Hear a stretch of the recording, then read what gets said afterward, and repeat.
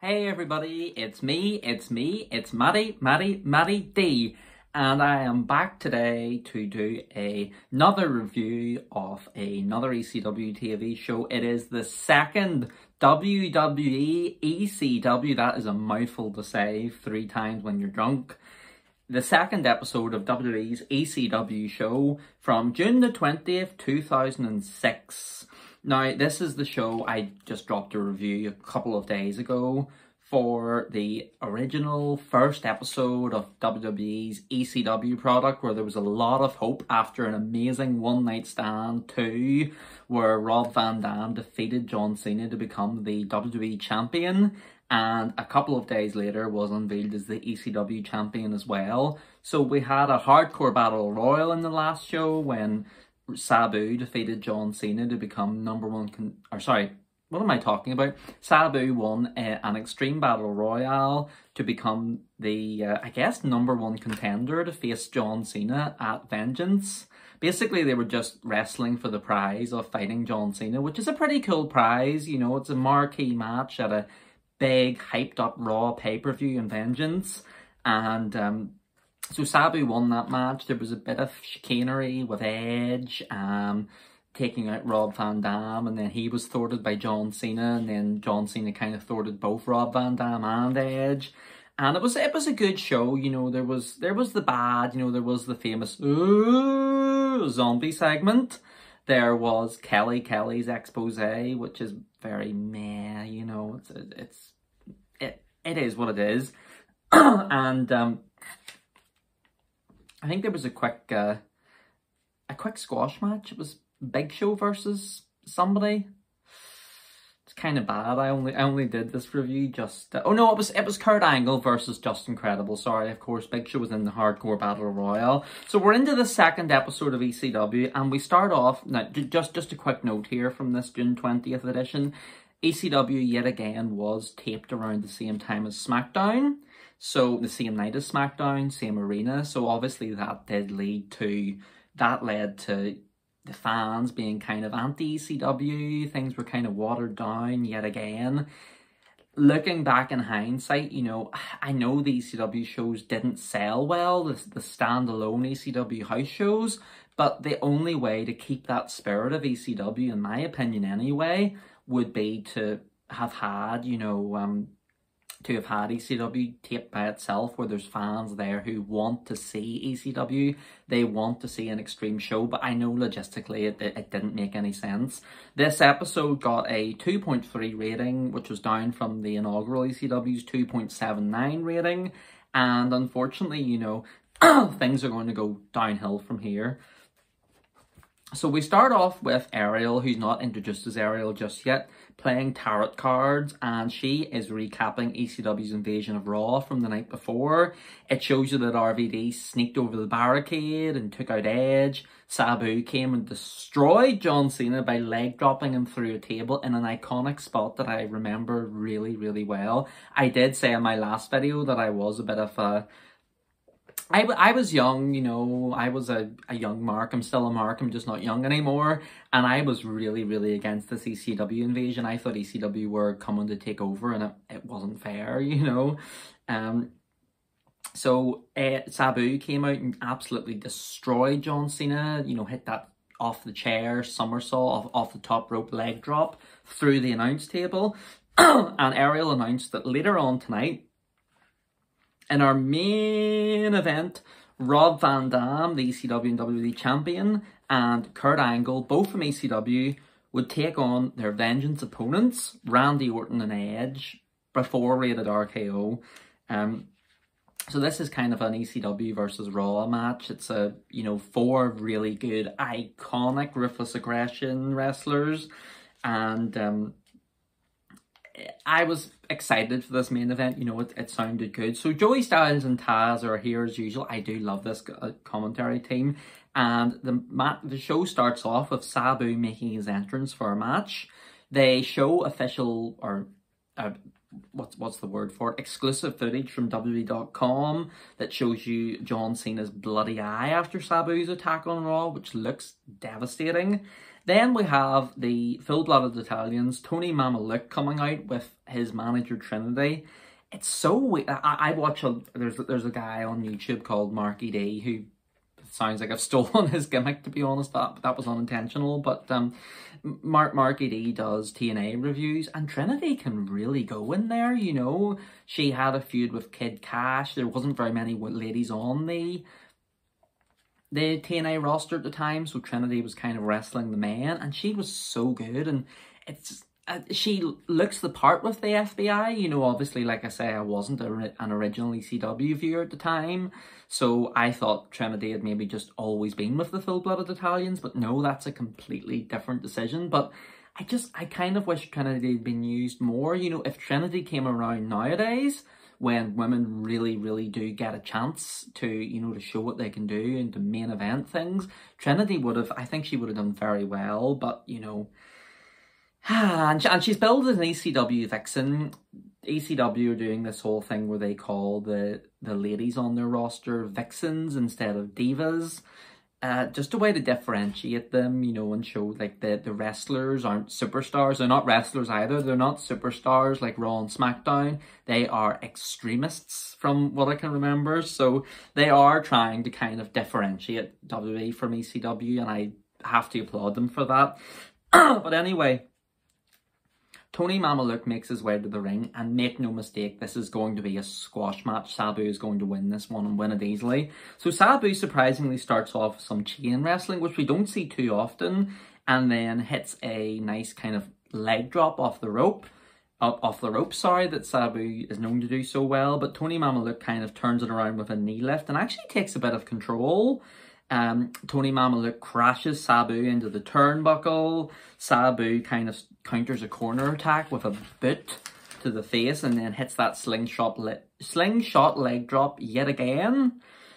Uh, Joey Styles teases there has been rumours that John Cena may appear on ECW, and Sabu actually puts on his his his ah goodness I should know this one. I think it's it's, it's Sabu's uncle, the original Sheik, Sabu briefly puts on that camel clutch move that the original Sheik so famously invented and it's, it, it, it, it's, it's nice to see that, you know.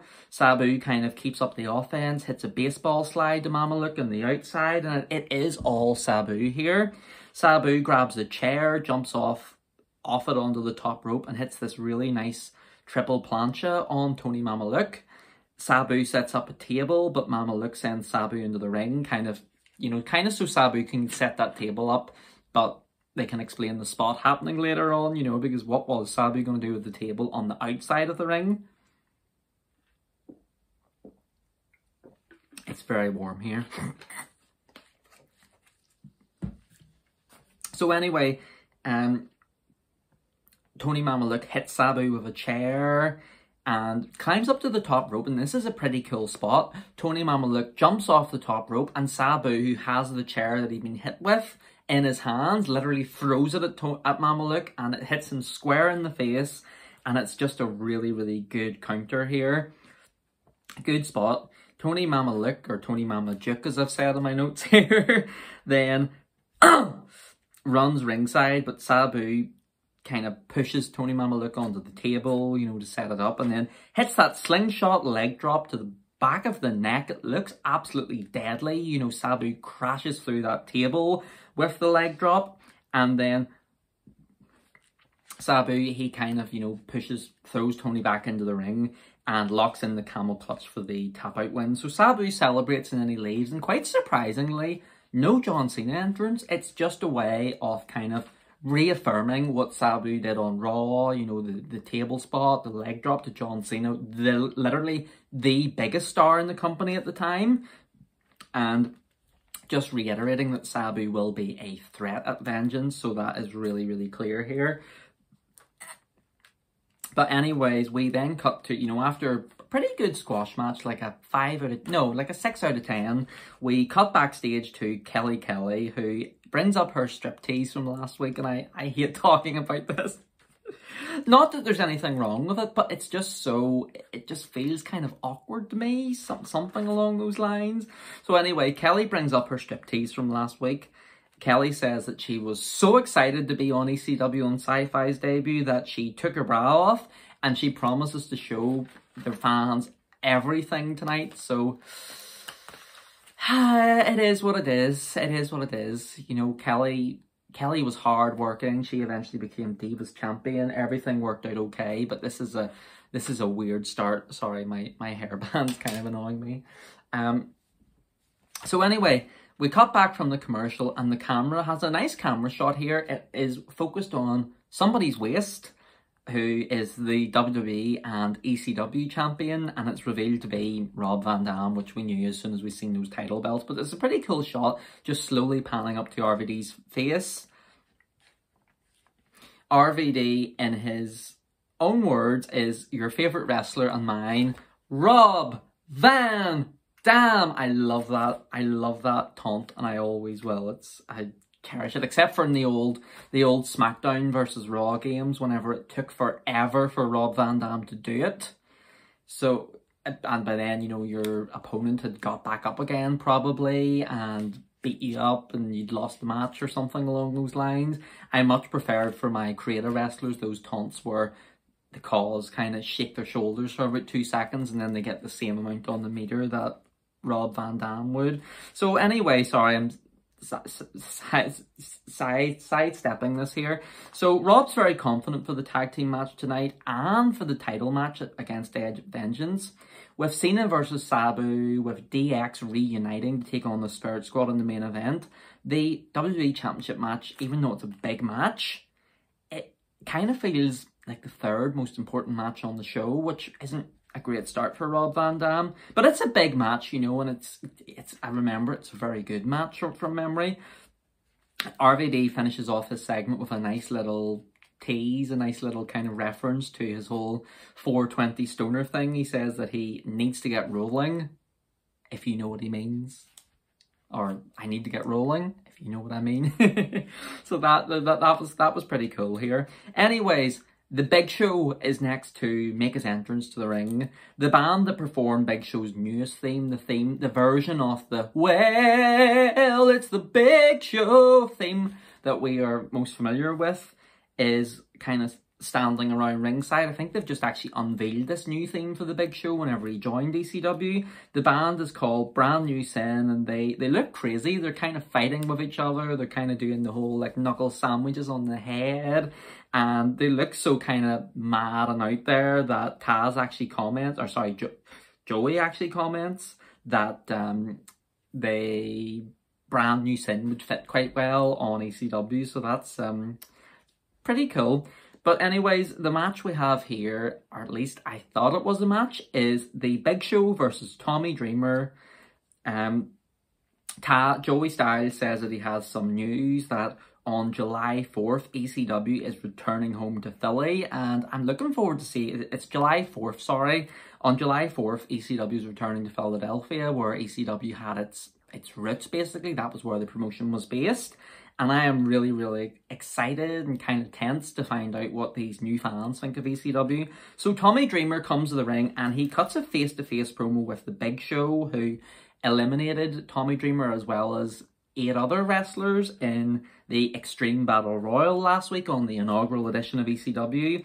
And Tommy Dreamer says to Big Show right to his face that if Show wants to make a name in ECW, then he's got to go through Tommy Dreamer first.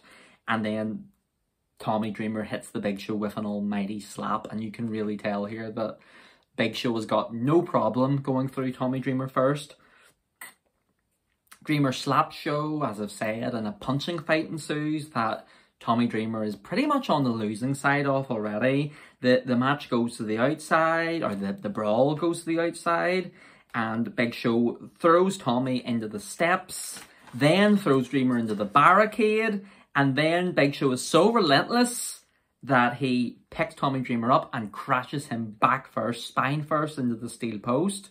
Tommy Dreamer rolls into the ring and he's really selling his heart out. You know, I, I, I don't know what Tommy Dreamer does nowadays, but uh, he probably could have been more just based on how well he sells, how much heart Tommy Dreamer shows in the ring. You know, I'm a big Innovator of Violence fan, or I was back in the day anyway.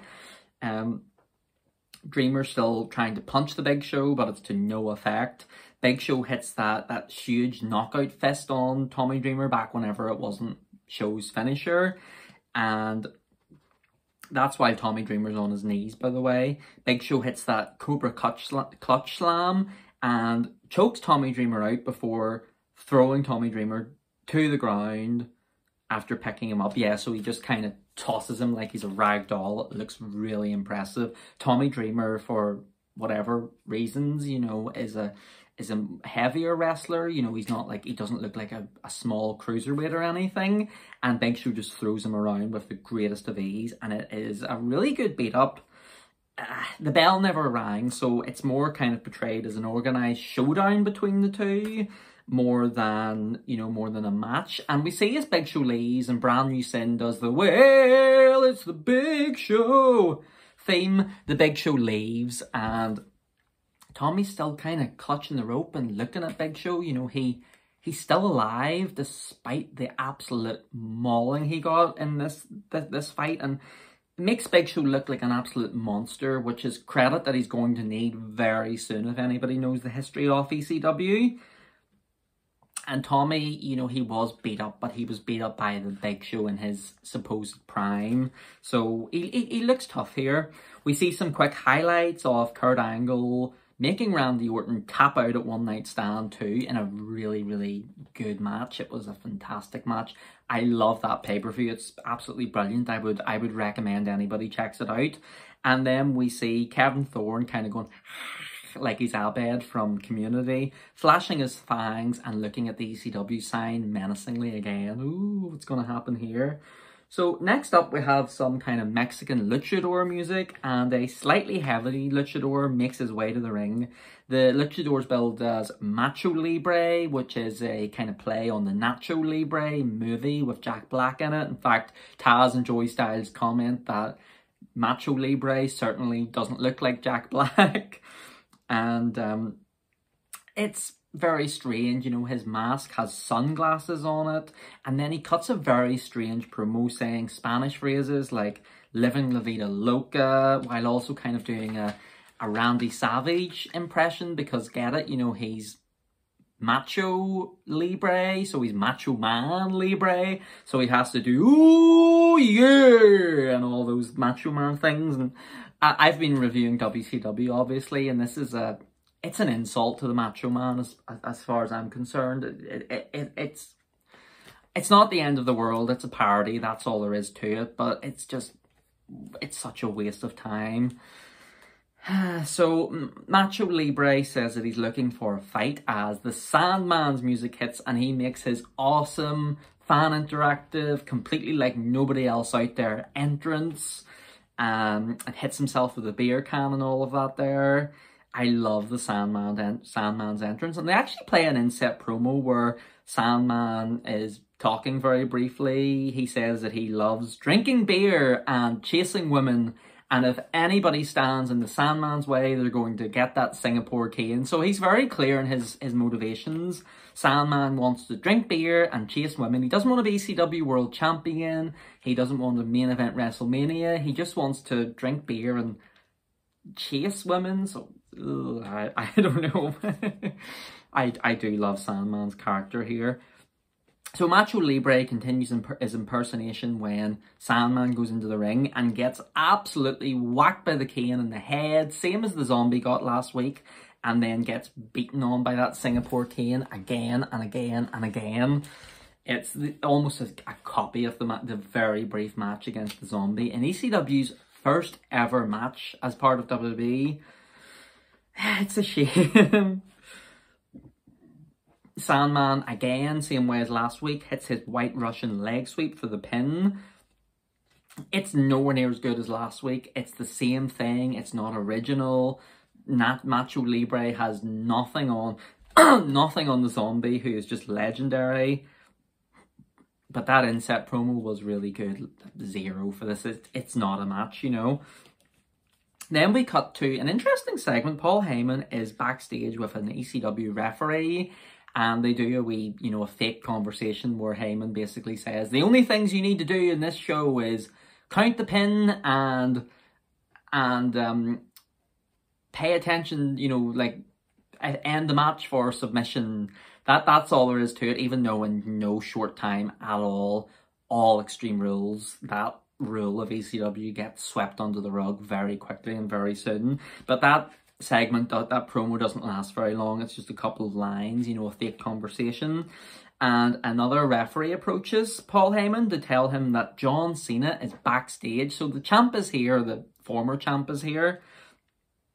Paul Heyman, he kind of gets the cavalry together, demands that um, you know, that the referee gets all the whole ECW locker room there so they can meet John Cena at the pass as we cut to a commercial break. After the break, Paul Heyman is backstage with most of the ECW roster. There's Kurt Angle, Sabu, Balls Mahoney, Rob Van Dam, Stevie Richards, Little and Big Guido, and I think Danny Doring, and he's kind of just giving the, the riot act, giving the pep talk, you know, how dare John Cena invade ECW? If he turns up here, we're going to beat him up. And at that exact point, a very intense, very serious John Cena comes through the fire exit. Cena's still got a busted eye from Raw last night and he looks really, really badass. Cena does the whole, you know, Rob, Sabu, scumbag to, to Paul Heyman. So he's still showing a lot of contempt here, even though Cena is quite respectful in his approach. Cena compliments Sabu for his stunt on Raw, you know, being put through the table.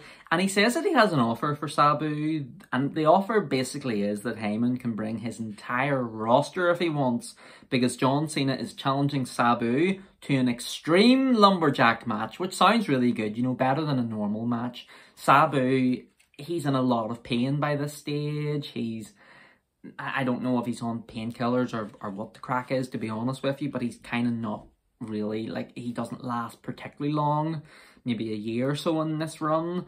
And i think it's best to you know to dress up his matches with gimmicks and weapon shots and chairs and things like that. So there's going to be an extreme lumberjack match. Paul heyman has to hold back sabu as John Cena says, he kind of explains his logic. You know, he says that he doesn't mind facing the entire roster. He knows he's going to get his ass kicked, but all he wants is a chance to go down swinging. So that makes him look like a fantastic baby face.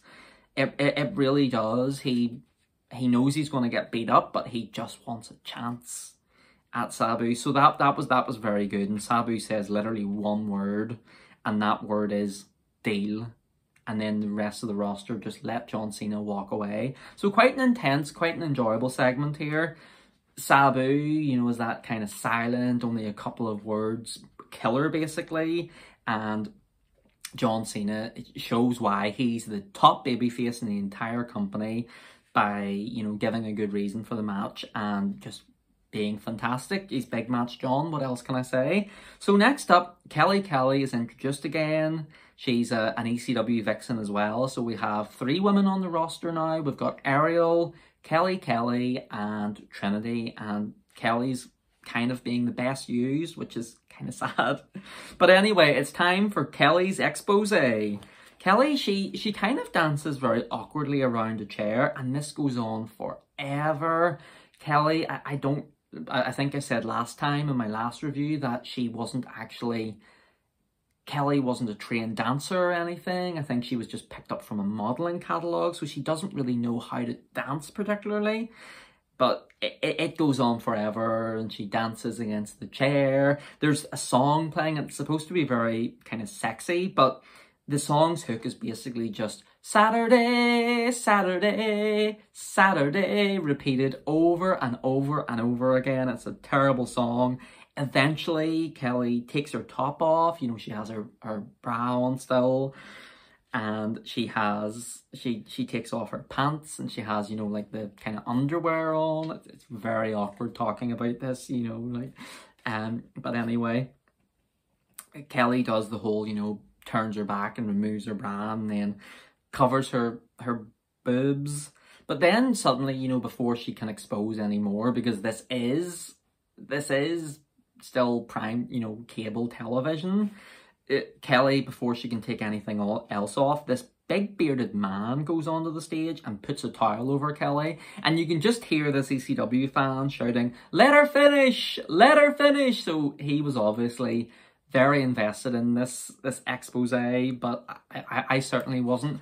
the bearded man is Mike Knox here, and he starts his whole gimmick of getting heel heat by essentially just stopping Kelly Kelly from stripping, you know, that is his gimmick. He's a possessive boyfriend. He only wants to see Kelly for her, you know, for himself, but Kelly wants to show everybody herself. It's a very basic, very kind of, you know, simple storyline, but it's it, it's not a great simple storyline, you know. But the, the, her boyfriend is Mike Knox, and I might have just said that literally a minute ago, and we will see a lot of him for the next year or so, so we better get used to Mike Knox because he is going to be here for a while. Taz and Joey Styles are very annoyed by this, by the way. They are pretty pissed off that, you know, um, Mike Knox dared to spoil this lady exposing herself completely on national television. We see a quick recap of ECW last week when Edge speared the absolute life out of R Rob Van Dam after Rob Van Dam kind of turned his back to Edge, and it's just a bit of a recap, you know, to add a bit more heat to this match tonight. I think that's what the Kurt Angle making Randy Orton tap out segment was also for. And next up, we have a pretty cool promo airing it's for test and it's just showing you him destroying people. I was a big fan of Test in ECW whenever I used to watch it kind of semi-regularly. I had no idea who Test was beforehand. I'd never, you know, heard of him. I he was gone for quite some time and he just kind of randomly popped up on ECW. But this is a good segment, you know, the test, test, test, uh, you know, back like constant repeating and his theme song, it makes him just look like a silent killer. And I think it's really what, you know, it's just a shame that Test didn't achieve those heights he could have with this character because he just comes across as such a, excuse my language, dick here. And he, he, he comes across as somebody very unpleasant and unlikable that, you know, you wouldn't be a fan of, to be honest with you and it really worked for me at the time. But anyway, we'll, we'll see test very soon. So it's now time for our main event with 18 minutes left on the clock, but you know, before the entrances start. So we've got plenty of time for this one. Edge cuts a promo saying that ECW and their fans suck. That's literally all he says is that ECW sucks and anybody who likes ECW sucks and that's the entire promo over. Nice and short and sweet. Then Randy Orton comes out to the ring. Edge, Lita and Randy Orton look really good together and the commentators did point out that this is the very first time those two men have ever teamed together. Obviously they would become Rated RKO who would become a very popular heel tag team on Raw. You know, two bona fide main event heel badasses in the same team together. It really worked out well and you would wonder, you know, if that was the inspiration for getting Orton, Edge, and Lita together because they certainly work well in this in this match. They certainly, you know, look good together. And speaking about things that look good, Rob Van Dam looks good with those two titles. I love that kind of pan, panning up shot of RVD earlier on. And um, it's very short-lived, RVD having both both championships. So it's something that I, you know, I kind of cherish seeing in this very short period of time because I think we've got one more episode of RVD as champion and that's it. You know, so it's it's kind of kind of depressing. But anyways, Edge starts off the match with Kurt Angle and what chemistry these two have had in their career, especially whenever Kurt Angle was the heel and Edge was the babyface. They were so good together. Kurt Angle starts throwing Edge around. RVD and Angle double team Edge, but Edge kind of turns it around and does a quick double team with Randy Orton. Rob Van Dam hits a really good looking sidekick to Orton and celebrates with the, the Rob Van Dam taunt that I love except for in SmackDown versus Raw.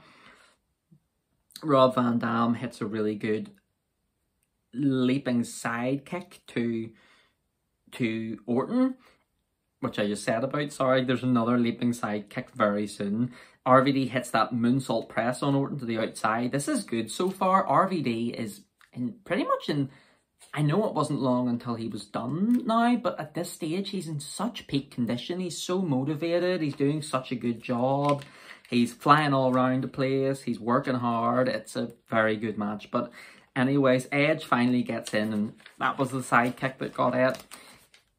So R RVD sidekicked Orton and then Edge, but Lita kind of sends RVD to the outside by pulling the rope, and Rob Van Dam falls out of it, and we cut to the break. So Heels get the momentum coming into the break, and after the break, it continues. Obviously, they show a replay of Lita choking RVD on the ropes during the break. Edge kind of distracts the referee during that, and Styles does point out that, uh, sorry, Taz points out that it is Extreme Rules, so it doesn't matter anyway. But you can already see, you know, that ECW is moving towards, you know, further and further away from the Extreme they promised, and more to that WWE style tag match this this was very, very WWE style. As good as it was, it was an amazing match. I loved it. But it felt less and less like ECW as time went on. I, um, where, where was I here? Sorry, in my notes. I try and keep detailed notes of this stuff because it's very important what happened in a tag team match 15 years ago. RVD is, or sorry, 16 years ago. RVD is hurt. You know, he's doing a good babyface in peril. Edge hits a um, hits it tries basically hits an apron sledgehammer in RVD into the announce table and then throws Rob Van Dam into the steel steps. So Rob is getting properly beaten up by this stage. Orton comes in and hits that amazing high elevated drop kick that he does so well to Rob Van Dam. I love Randy Orton's drop kick. It's up there with, you know, probably Mark Jindrak as the best drop kick in the business, you know, from back then anyway. It's such a good move and it really does lay out RVD. Kurt Angle is desperate to come in. He's really, you know, trying to motivate Rob Van Dam here. RVD hits a spinning heel kick on Edge and makes the tag to Kurt Angle, who comes in like a house on fire. Kurt hits three German suplexes on Orton. Edge kind of teases not wanting any, you know, kind of backs away, but then runs into the ring, but straight away it's a German suplex himself.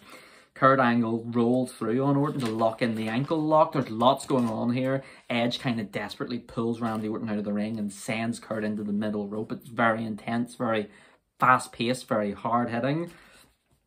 Edge goes to the top, but Angle.